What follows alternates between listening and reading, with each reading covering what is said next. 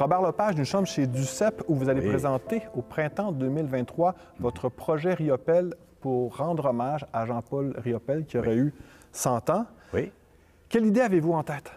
Eh mon Dieu, plusieurs idées, parce qu'on ne parle pas de Riopel avec une seule idée. hein. C'est un- euh, Lui-même est un personnage difficile à saisir, euh, euh, qui n'était pas qu'un peintre, c'est un sculpteur, euh, c'est un, un- un courseur automobile. Je veux dire, c'est un homme qui avait plusieurs facettes. Donc, c'est sûr que c'est un spectacle qui aura plusieurs facettes, éve- éventuellement.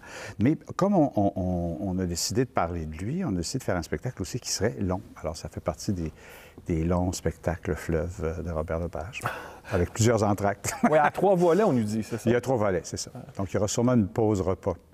Ah, donc comme les sept branches de la rivière Ottawa. Oui, malgré que on- ça ne durera pas sept heures comme les sept branches, là, mais euh, effectivement, ça va être un spectacle quand même assez consistant. Tant que j'en aurais pas fait autant qu'il y en a dans le ciel, ben, je peux pas m'arrêter. De votre ville natale, Québec, Ouais. vous pouvez voir au loin l'île aux grues. On va passer oui. la fin de sa vie, Jean-Paul Riopel. Évidemment, c'est une métaphore. Bien sûr.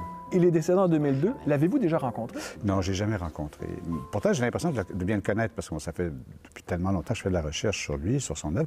Bon, évidemment, j'ai eu le bonheur de rencontrer sa fille, j'ai rencontré euh, sa veuve, qui est de Vachon. J'ai- euh, je suis allé dans à peu près toutes les maisons dans lesquelles il a vécu, tous les ateliers où il a peint. Donc, euh, euh, donc j'ai l'impression de, de l'avoir rencontré. Mon Dieu, votre travail est avancé quand même. Bien, c'est-à-dire que ça fait quand même depuis très longtemps que je m'intéresse à lui, mais je n'avais pas l'occasion vraiment de... j'ai- Il y a eu une tentative au début des années 2000 de commencer peut-être à, à élaborer un spectacle sur lui, tout ça, mais c'était complexe, puis c'était énorme, puis bon, tout ça. Alors finalement, j'ai abandonné. Et, euh, mais j'ai poursuivi cet intérêt-là. Je veux dire, à un moment donné, je me suis dit, ben un jour, un jour, un jour, un jour. Avec cette pandémie, on va de vague en vague et Robert Lepage est reconnu pour toujours repousser les limites des moyens techniques. Jusqu'à quel point ça vous freine dans votre élan, ça, justement, d'avoir des- mesures sanitaires qui, finalement, brident votre création? Ce qui a été difficile, surtout pour moi, pour ma compagnie, euh, peut-être moins pour le diamant, c'est de ne pas pouvoir tourner. Euh, nous, no- nos sources de financement sont principalement les tournées. Donc, pendant deux ans, euh, on ne pouvait pas tourner. Et aussi nos sources d'inspiration. Euh, nous, on coproduit avec euh, des- beaucoup de gens à l'étranger. Euh, moi, le voyage, c'est ma source d'inspiration première. Ah, ça, c'était difficile, je dois l'avouer. Donc, je veux parler du Maître et Marguerite, magnifique roman de, de Mikhail Bulgakov. Vous en avez fait une adaptation Ouais. théâtrale à Moscou. Ouais. Production arrêtée parce que vous- Ouais. plusieurs de vos interprètes ont, ont carrément fui la Russie pour aller Ouais. se réfugier. Vous avez dit récemment que les Russes vont éventuellement se soulever contre Vladimir Poutine. Vous y croyez encore? Oui, bon, évidemment, je ne suis, pas- un prophète, là, mais c'est la seule façon, façon, la seule façon que tout ça. euh, il faut qu'il qu'il y ait un Brutus, il faut ait, faut qu'il y ait quelqu'un qui se sacrifie, qui sacrifie, il faut qu'il y ait quelqu'un qui fasse quelque chose. C'est de l'intérieur que ça, que va se régler, tout ça. Euh, ils ont toujours fait ça, les Russes, euh, historiquement. hein, mais ça, c'est le, grand paradoxe des Russes, c'est-à-dire que c'est des gens qui euh, se font oppresser longtemps, toujours par, soit par un tsar, un tyran, un, despote, un, Staline, et en ce moment un, Poutine, et, ils- se font écraser, tout ça. Puis à un moment donné, révolution, liberté, mais la liberté, ça vient avec une responsabilité. Et souvent, les Russes savent pas faire avec la liberté.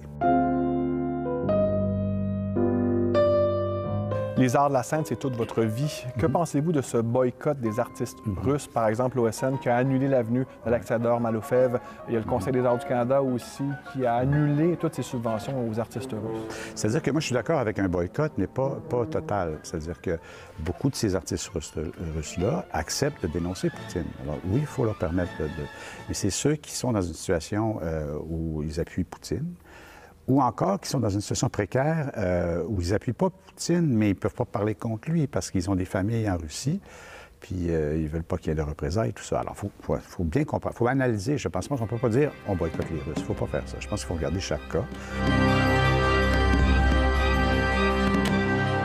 J'ai vu en septembre 2019 la reprise de votre production euh, Les sept branches de la rivière Otta, évidemment.